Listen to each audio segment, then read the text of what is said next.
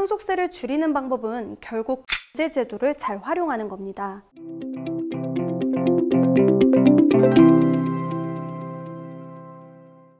안녕하세요. 상속 전문 변호사 유지은입니다.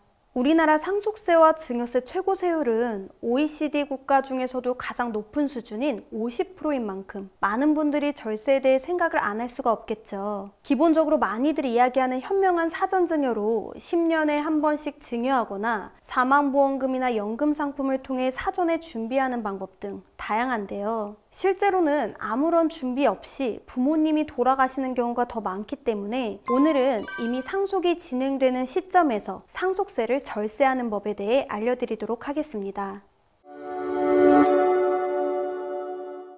증여세가 증여받는 사람 기준으로 금액이 계산되는 것과는 달리 상속세는 물려주는 사람의 총재산을 기준으로 계산되기 때문에 상속세를 줄이는 방법은 결국 공제제도를 잘 활용하는 겁니다. 일단 지난 영상에서 상속세 계산하는 법과 상속재산 공제에 대해 설명드렸으니 잘 모르시는 분들이라면 확인하고 오시는 게 이번 영상을 이해하는 데 도움이 될 것 같습니다. 일단 시작 전에 너무 당연하고 가장 기본적인 건데요. 상속세를 신고기한 내에 제때 신고했다는 이유만으로 상속세 중 얼마를 공제하는 바로 신고세액 공제를 먼저 챙기고 시작합니다. 총 상속세 3%를 신고세액 공제로 챙길 수 있습니다. 다음으로 가장 보편적인 방법은 배우자 상속공제인데요. 아버지가 돌아가셨는데 연로하신 어머니에게도 재산이 상속될 경우 어머니가 돌아가시면 또 상속을 진행하는 게 번거로울까봐 자녀들에게만 상속하는 경우가 많습니다. 상속재산이 10억 이하 일 경우 어차피 상속세를 내지 않기 때문에 상관이 없지만 상속재산이 많을 경우엔 납부해야 하는 상속세에서 큰 차이가 나게 됩니다. 배우자 상속공제는 배우자가 실제로 상속받는 금액, 그러니까 총 상속재산에서 배우자가 승계하는 채무 등을 제외한 금액을 기준으로 하는데요. 배우자의 법정 상속분 한도 내에서 공제를 받게 되고 30억이라는 한도가 있습니다.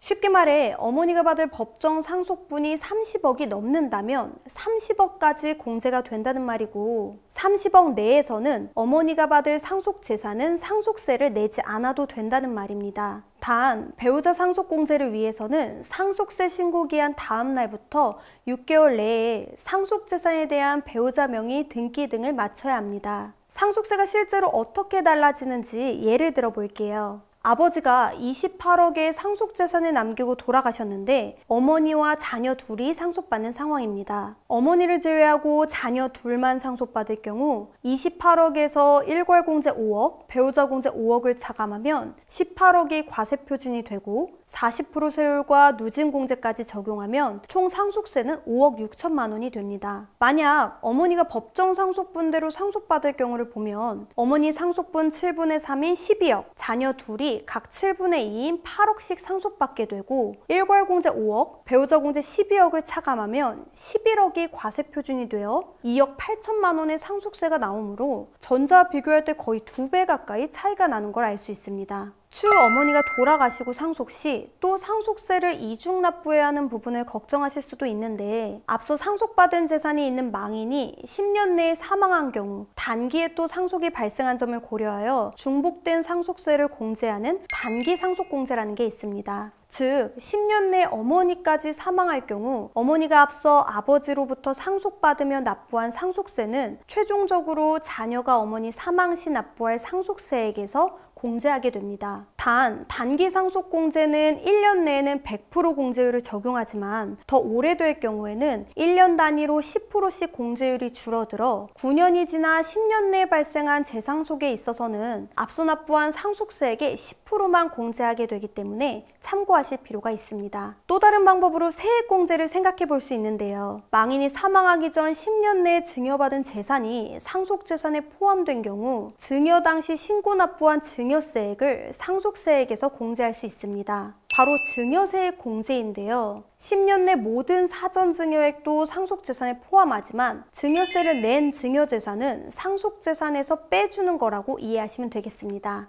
여기서 주의할 점은 보통 부모 자식 간의 금전이 오갈 경우 세무당국에선 고액을 제외하면 적발하기 어려워서 그냥 넘어가는 경우가 많은데요. 상속세 신고를 하게 되면 상속세 확정을 위해 10년 내에 금전 거래를 조사하는 과정에서 뒤늦게 발견되어 세금 폭탄을 맞는 경우가 매우 많기 때문에 일정 금액 이상 증여 시에는 증여세 신고를 사전에 하는 게 현명할 수 있다는 점 참고하시기 바랍니다.